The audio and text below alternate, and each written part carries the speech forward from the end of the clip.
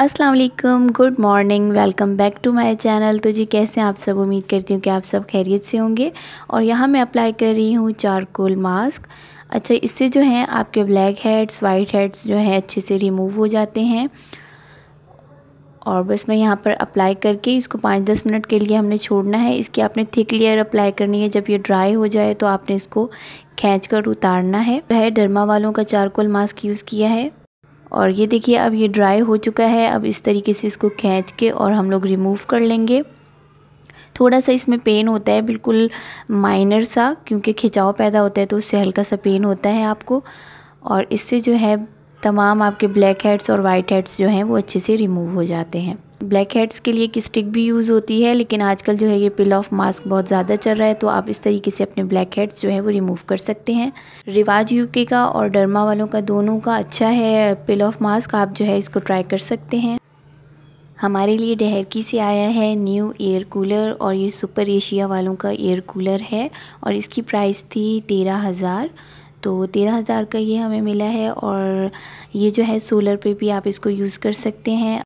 अच्छा ये जो सुपर एशिया का एयर कूलर है, इसका मॉडल है पैंतालीस सौ और ये कराची में जो है सत्रह हज़ार पाँच सौ का मिल रहा है और डहरकी में जो है ये हमें तेरह हज़ार का पड़ा है तो हमें साढ़े चार हज़ार का इस पर जो है वो प्रॉफिट हुआ है। यानी हमारे चार हज़ार जो है वो यहाँ एक्स्ट्रा जाते कराची में तो हमने वहाँ से इसको मंगवा लिया है और अब जो है इसको हम खोल रहे हैं और बहुत अच्छे से इसकी पैकिंग की हुई है, अभी मैं आपको दिखाती हूँ। पैकेजिंग वगैरह जो है इसकी बहुत अच्छे से इन्होंने की हुई है और इसके अंदर जो है केमिकल वाली बॉटल्स होती हैं और वो जो बॉटल हैं वो छः हैं इसके अंदर। एयर कूलर्स में जो है वो सुपर एशिया का सबसे बेस्ट चल रहा है तो अगर आपको लेना हो तो आप इसी कंपनी का लें। अदरवाइज़ आपकी जो है वो चॉइस है, आप जौन सा लेना चाहते हैं आप ले सकते हैं। ये देखिए दो दो के पाउच बनाए हुए हैं। ये केमिकल्स हैं, इनको आपने ओपन नहीं करना, इनका ढक्कन नहीं खोलना। आपने इसको जस्ट ऐसे ही फ्रीज़ करना है और ऐसे ही यूज़ करना है इसे। और अगर ये गिर जाए तो नुकसान हो सकता है, टूट जाएगी ये और आपका केमिकल जो है वो वेस्ट हो जाएगा।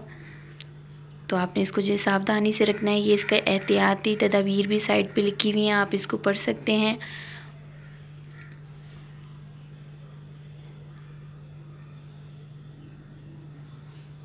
और इसकी जो शीट है, एयर कूलर के बैक साइड पे जो शीट लगी हुई है, वो वेवी वाली शीट है, यानी एक भूसे वाली शीट आती है, वो जल्दी ख़राब हो जाती है। तो इसमें वो भूसे वाली शीट नहीं है, इसमें वेव्स वाली शीट है। और अब जो है मैं बना रही हूँ समोसे। समोसे के लिए हमें चाहिए मैदा, नमक, ऑयल और ज़ीरा। ठीक हो गया?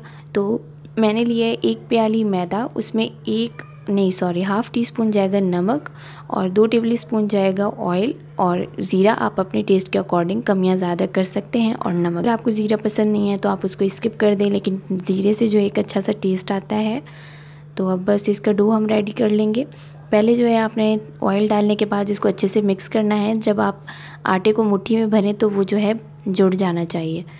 तो इट्स मीन का आपका ऑयल जो है इसमें बराबर गया है। उसके बाद जो है इसमें थोड़े थोड़े से पानी शामिल करके आप इसका डो बना लेंगे। जिस तरीके से सिंपल हम आटा गूंदते हैं, इस तरीके से आपने इसका आटा गूंद लेना है। अब जो है मैं समोसे का मसाला रेडी कर रही हूँ। इसमें तमाम स्पाइसेस अपने आप टेस्ट के अकॉर्डिंग जो है वो ऐड कर सकते हैं। अच्छा हमने इसके डो में क्या क्या शामिल किया है? पहले हमने मैदा लिया है, उसके अंदर डाला है नमक, ऑयल डाला है और ज़ीरा डाला है। ठीक है, उसके बाद आपने उसका डो बना लेना, आटा गून लेना है। और अब ये मैंने आलू बॉयल किए थे, इसमें तमाम स्पाइसेस डालें, आप अपने टेस्ट के अकॉर्डिंग कम या ज़्यादा कर सकते हैं।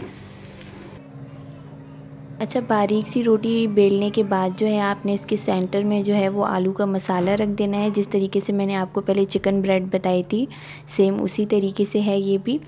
सेंटर में हमने आ, मसाला रखा है और साइड टू साइड जो हम कट लगाते जाएँगे। लेकिन लास्ट से और फ़र्स्ट साइड से जो है आपने कट नहीं लगाना जो शुरुआत है। अब इस तरीके से जो है आपने जिग जैग करके इसको बंद करते जाना है। तो इसकी जो है फ़िश की शेप आ जाएगी। इसके अलावा आप इस पर अच्छा ये इस तरीके से मैंने फ़िश बनाई है। यहाँ पर जो है, आप लौंग डाल सकते हैं। मेरे पास लौंग नहीं थी तो मैंने बस गुजारे लाइक ये चॉकलेट चिप डाल दी है। सिर्फ़ आपको एक आइडिया देने के लिए अदरवाइज़ आप इसमें जो है, वो लौंग डालेंगे। अब मैं इसको डिश आउट कर लेती हूँ।